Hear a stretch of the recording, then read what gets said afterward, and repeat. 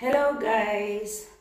May tutorial akong i-upload later. So, abangan nyo na lang kasi total makeover yon So, medyo mahaba yung videos.